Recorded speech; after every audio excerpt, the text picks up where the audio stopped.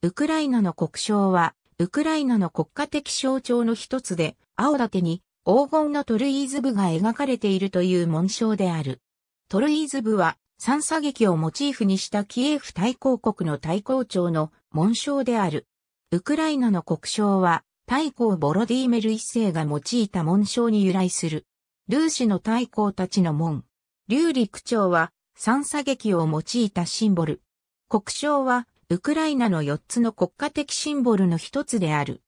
ウクライナ国章は大国章と小国明に分かれていて、その国章に関する規定は、ウクライナの憲法第20条において記されている。それによると、両国章の中心的な要素は、トルイズーブであるべきと定められている。小国明は、1992年2月19日に法律で認定され、青い盾に金のトルイズーブというデザインで描かれている。大国章はまだ認定されておらず、法案上のみ存在している。その法案によると、大国章の中心は、小国明である。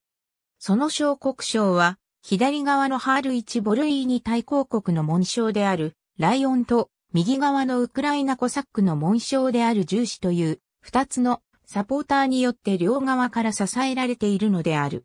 小国明の盾を支えているライオンと重視は、ウクライナ国旗の色で彩色したリボンの上に立っている。